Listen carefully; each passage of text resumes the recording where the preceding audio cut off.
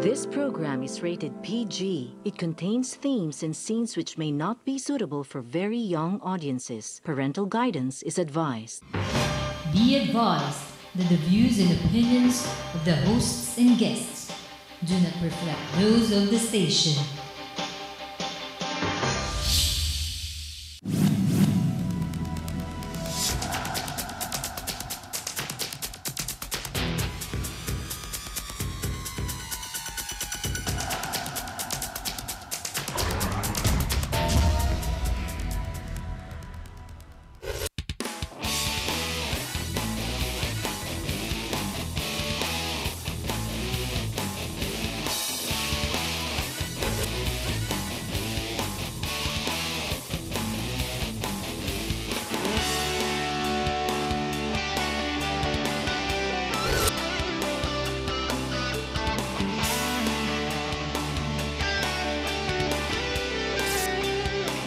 You are what you watch. Hello, my name is Harriton Watko. Welcome to our program.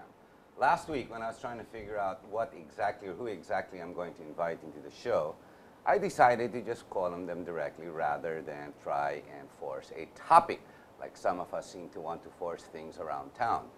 Going back to that issue, so I called on attorney Manny Luna because I read his name all the time and he's always in the newspapers. And that was because of the COMELEC or basically Smartmatic. And then I came across Governor uh, Bono Daza, who la just last week launched together with, uh, with one of our hosts here on TV, Kamentong, together with a slew of people, if I'm not mistaken, together even with Joe Romero. And they went and uh, they filed a complaint of treason against the president.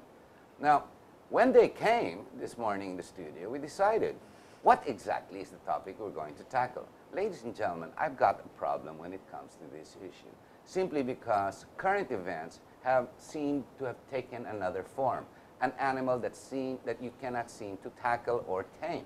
What exactly is important? What is the priority you and I are facing? Let's try to enumerate just some.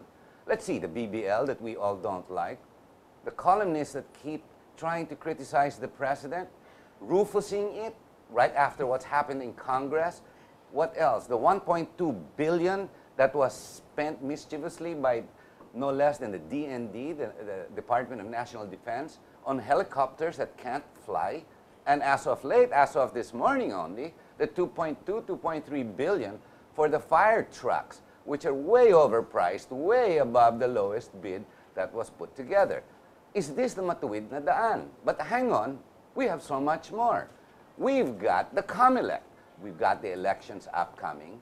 We've got the, let's see, the word war between Duterte and uh, De Lima, who are fighting it out. One is maybe trying to get into the news, and the other one trying to stay in the news because both obviously wanted to go for higher positions. What exactly is our priority? Let's look at China. America's going to bomb China. Is it all about China? Is it even all about Sabah? Or isn't it all about the U.S. and the creeping, let's see, interests that keep, that actually will cede Mindanao for us? I have blamed Sabah. I have blamed the Malaysians. I blame the terrorists called the MILF. But is it them that really caused the seeding of Mindanao and to create the BBL?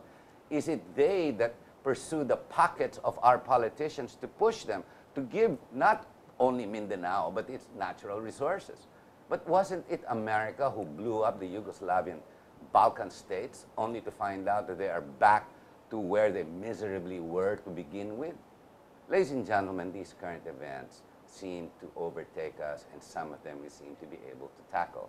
If you read the columnists in all the major dailies, I'd like to read something about what good this government is doing, simply because I'd like to follow the reforms he keeps harping on. But hang on, maybe the mother of Mar will have a better idea and cue. So maybe would his, her, his, his wife. Or maybe the others would do the same.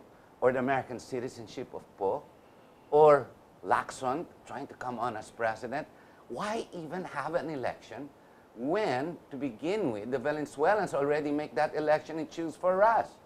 Ladies and gentlemen, with us on the show, we've got, like I said, We have Attorney Manny Luna and we've got Governor Bono Dasa. Gentlemen, maraming salamat for being here. I'm sorry I'm a bit sarcastic for that opening statement. No? Pero lahat na sinabi ko dun, di ba? Lahat ng Yeah.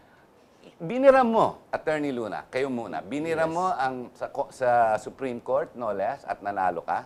Tinigil mo ang Smartmatic sa kakaguluhan ng 268 plus million pagdating sa refurbishment ng mga PICOS machines. Where is that now? Because I'd like to see those machines burned. Yeah, the machines are still there, the more than 81,000 machines. And we know for a fact that Comelec is planning to, to award a new contract for the refurbishment, diagnosis, and repair of such machines.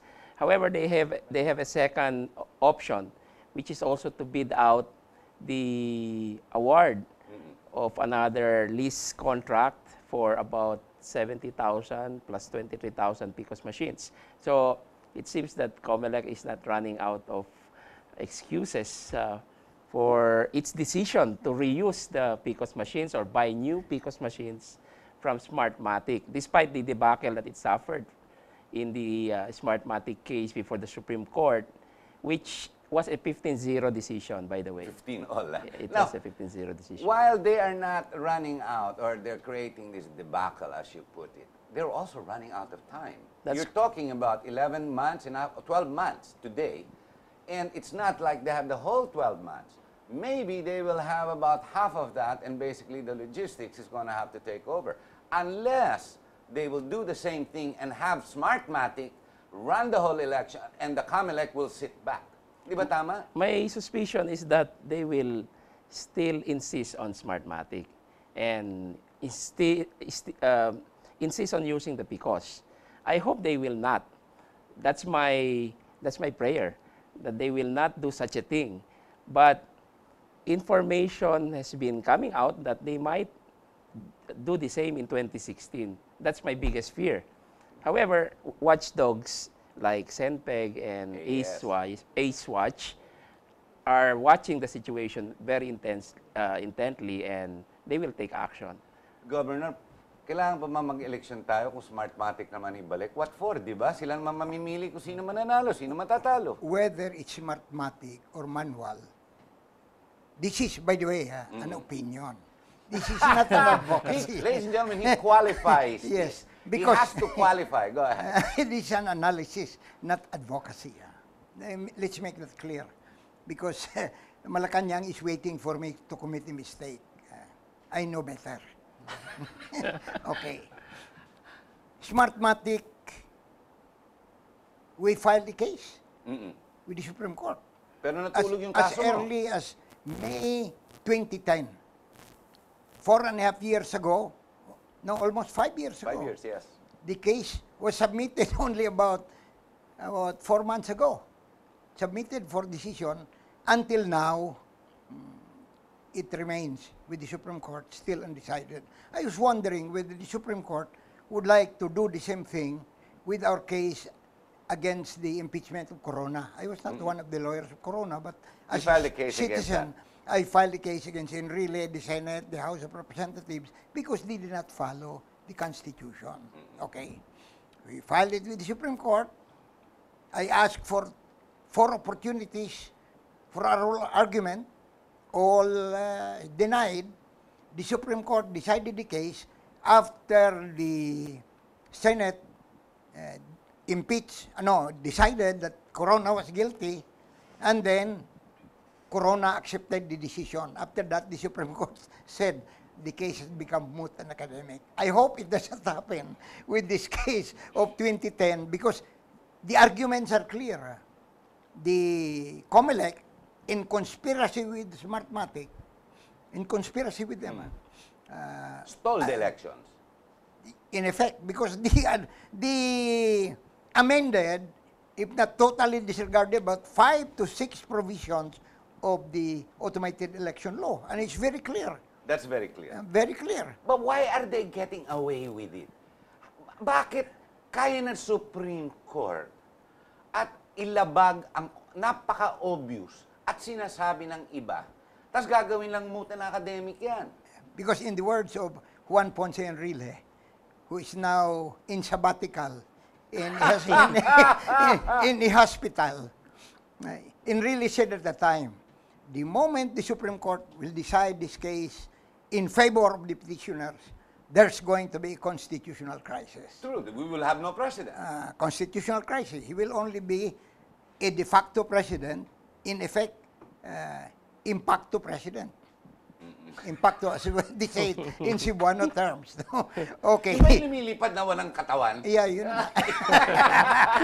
so, that's likely to happen. I hope the Supreme Court makes a decision and says that the elections was invalid, or if not, say that it's, It's valid. valid. Yeah, I, I hate indecision. Yeah. Kailangan one and for, firmity, di ba? Yeah. Yes or no. At panindigan mo kung ano sinasabi mo. Constitutional or unconstitutional. Pero kung matuloy ang Smartmatic, it's tantamount to saying no L. Am I correct?